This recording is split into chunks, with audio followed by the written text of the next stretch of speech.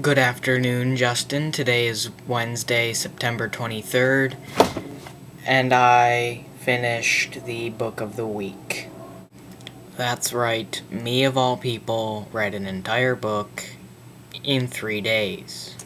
And yes, it's true, I haven't completed a challenge yet, so you said do something outlandish, so this is me being outlandish.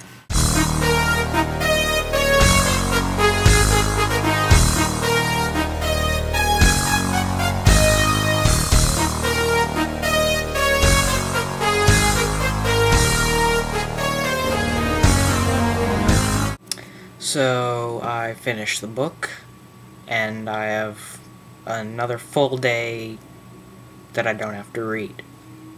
Tonight I am going to Fairbanks to do to serve food at a picnic for uh, Leo Club, so community service.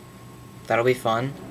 A couple people I know are going to be there and after that I'm going to come home and attempt to sleep.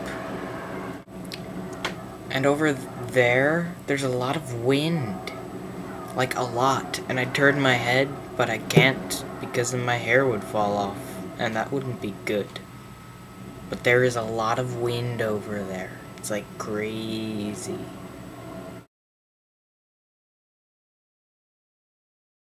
The Old Man in the Sea interesting book. Not really. Um, here's the last page. It's about a man who is old and hooks a giant marlin. And the giant marlin pulls him for like three days, and then the marlin dies.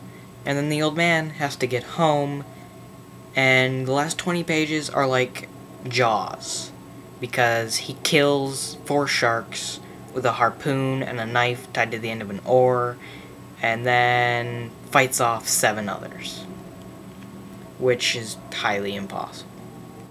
See you tomorrow, Justin. This is me being outlandish.